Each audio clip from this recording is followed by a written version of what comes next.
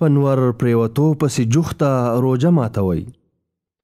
رسول الله صلی الله علیه وسلم فرمایي خلق با تل په خیر سره وي